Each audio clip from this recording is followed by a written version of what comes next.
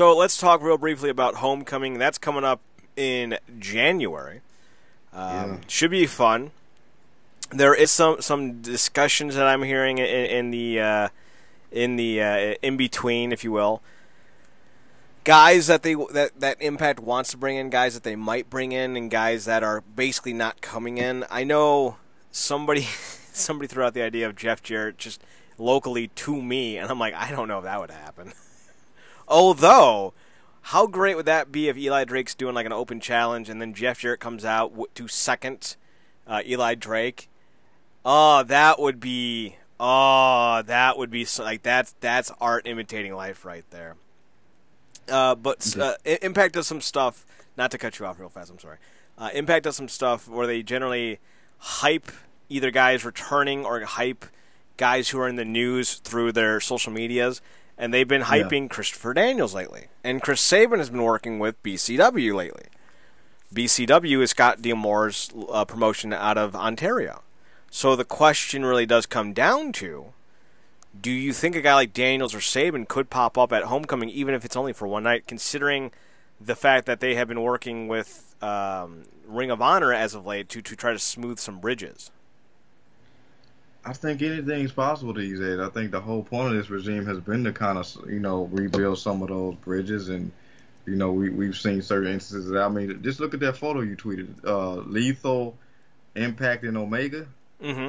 What's I mean, just that photo alone proves that you know what, how far we've come and just what the year has been for wrestling. And you know, just looking at those guys, those three who, you know, not that many years ago that people would have never pegged these guys for world champions Mm-hmm. at all. And and now look at them now. So, you know, I think it just speaks. to I definitely think somebody like Daniels could come in, or, or somebody like a um a Sabin and whatnot. You know, to kind of just mix things things up. Even if it's for one night, it'll be cool if we got like a a, a quick bad influence uh, rerun. I wouldn't hate on that at all.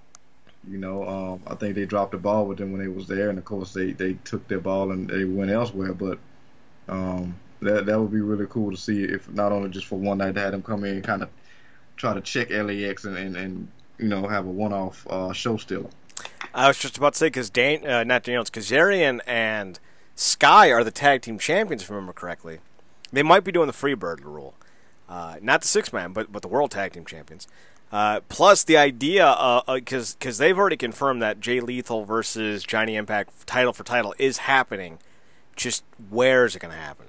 Well, why not at Homecoming? Jay Lethal is is you know he's a former X Division champion, former multi-time X Division champion, former tag team champion, if, if I remember correctly. Uh, his Black Machismo gimmick is, is still regarded um, as one of the best, most creative things that has happened under the Russo era. So why not do Jay Lethal versus Johnny Impact at Homecoming? I think it makes sense personally. Yeah, I dig it. I mean, you know, just to see him back in Impact after all these years, after everything that's happened, obviously, you know, another guy that had a lot of potential to, to get to the top, but realized it in Ring of Honor with the opportunities he, that you know that he earned there. So, uh, I, I just think that would be great. You know, you're talking about you know the past versus you know um, the, the very much present with you know Impact, and like I said, that would be really. Speaking of homecoming, that'd be a homecoming for Jay. I mean, that's where we got started with this guy. So you know, I still laugh every time I think of Jay Lethal and Impact because I go back to that Hard Justice show at, out of uh, New Jersey, and they show Mhm. Jay Lethal's family, and right there is AJ Lee. I always chuckle when I see that. So I'm looking forward to Homecoming. It's going to be an awesome show. Apparently, they're ter- tearing down the old asylum, uh, so this is going to be one of the last wrestling events at the venue. oh man, that's that's great. Is this the same? This is this the asylum with uh where they they used to have like the tunnel and all that? stuff? Uh, the, the tunnel stuff that, that you know where they were kind of walking on an, an incline upwards or walking on a yeah Yeah. incline. That was actually the impact zone, way back in the day. This was where they would hold the weekly pay per views, and it would look like you know if you're looking at the hard camera, you would see like a row of seats across from the hard camera, like a little bit elevated, like there, like there's a little riser. That's what Yeah. this was. Uh, it's the Nashville Fairgrounds. Uh, NWA just ran their 70th anniversary show at the venue, uh, so there, there's been some some usage of the event. Ring of Honor's filmed there for their weekly television show uh, over the last few years.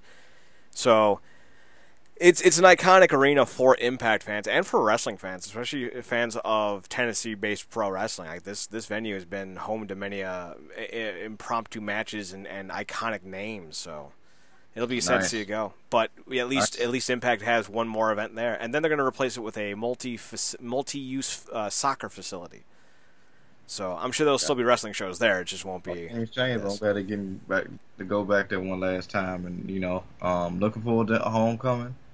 Uh, and of course, this week we are heading in the final hour. Yes. Which, uh, I love how they branding these a lot of these shows after the actual superstars. Like they had Night of the Dummies with Drake, and they got the final hour with the Killer Kross's emblem in the in the uh, logo for the uh, the title of the show. So digging it, I'm digging it. It's looking promising to be a, a hell of another hell of a uh, episode of